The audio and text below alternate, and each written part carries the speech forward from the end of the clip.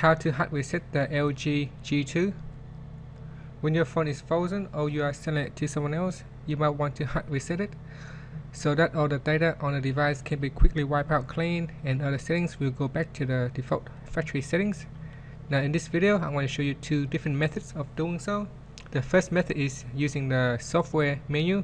So if your phone is not frozen you can go into the menu and reset the device now before you go ahead and reset the device, make sure that you back up all your important data because once you reset all your data will be gone. This includes your Google account, your music, your media file, your uh, documents, and uh, pictures and contacts or anything that's on your device will be completely wiped out. So be uh, make sure that you have um, backup everything. Now with um, your phone switch on, uh, tap on the apps icon located at the bottom. Once you're in the apps screen choose settings. And next choose backup and reset. Then tap on factory data reset. And finally select reset phone.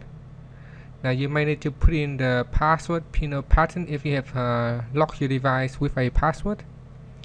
Then next choose erase everything then you should see the phone continue to proceed with the master reset back to the factory default.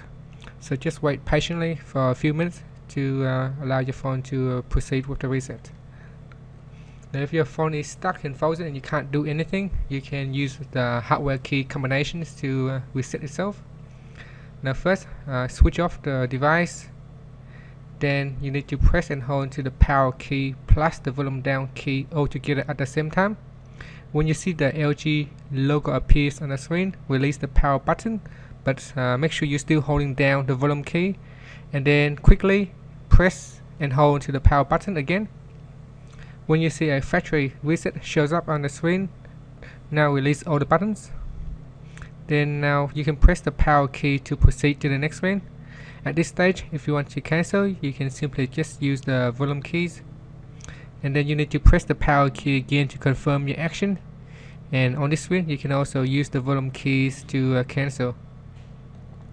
Thank you for watching this video. We hope you find it helpful. Please subscribe to our channel for more video tutorials